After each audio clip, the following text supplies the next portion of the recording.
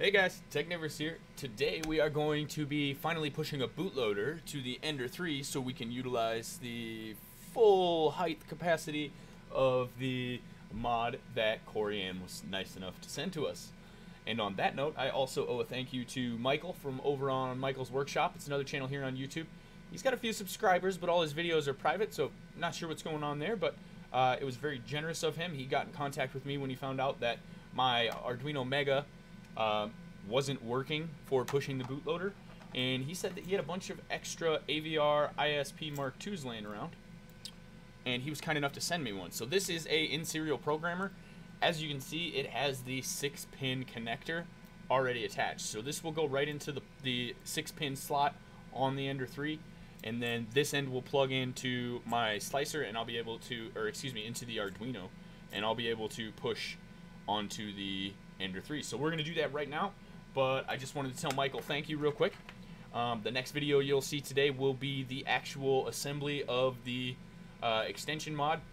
I've simply been waiting to put that video up to test it because we need to make an update to the firmware, which is why we need to push the bootloader. So let's get into this right now and turn this guy upside down, pull the bottom off, and get to work. So now that we have our in-serial programmer and we have our Ender 3 all built, we need to do the actual push and the firmware we're going to be using is a copy of TH3D Studio's uh, unified firmware package. So we need to download that and to do that I will put a link down below. We are going to jump over to this website which is having a hard time loading right now but fortunately I actually already downloaded this a while ago. Uh, so we're going to open firmware for Windows here. Hit run. No, I went to the wrong one. Oh, yep, there it goes. It's loading. So give me just a second to pop this open and we'll be right back.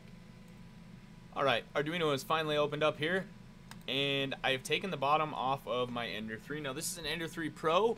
So you get to the internal components from the bottom. There are three screws. They're to be these two here and here. And then on the other side, there is one long screw that you will have to pull the bed forward to get at and remove in order to completely drop the panel. Once that's done, we are simply going to take our in-serial programmer and attach it to the serial output on the board here. Just make sure it's oriented the right way. Alright, so now before we go any further, we had to install the driver.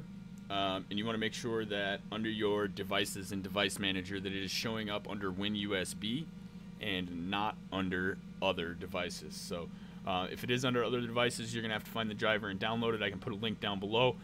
Make sure you follow the instructions for turning off the driver signature protection. You're going to need to restart your computer and it will temporarily turn off that signature detection in order to be able to install the driver. Once that's done, we're going to go up here and we're going to hit burn bootloader and you can see it running. It says avrdude done. Thank you.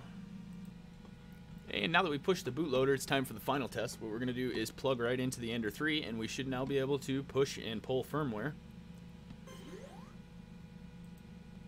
As you can see, I have COM port 4 here. And if we jump over to that,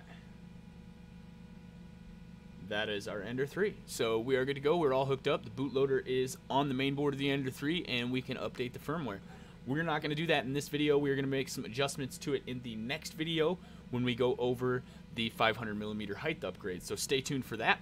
And don't forget to, like I said, if you have problems with the driver installation, make sure you follow those instructions for turning off the driver signature protection the first process in the list will only turn it off temporarily, so the next time you restart your computer, it will be on again to prevent invalid drivers from being installed. So I hope this was helpful to you guys, and we'll see you in the next one. As always, this channel is brought to you by these fine Patreon supporters. If you'd like to support the channel on Patreon, head over to www.patreon.com slash technivorous.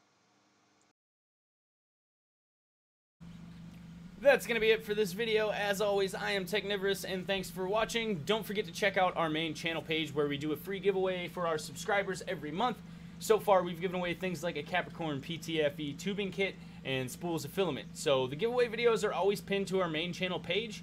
So all you have to do is subscribe and leave a comment on the giveaway video for the current contest. Feel free to check out this video right here. YouTube picked it from my content just for you, and if you haven't already, you can hit the subscribe button right here. So what are you waiting for? Become a Technivore now. Thanks again. Technivorous out.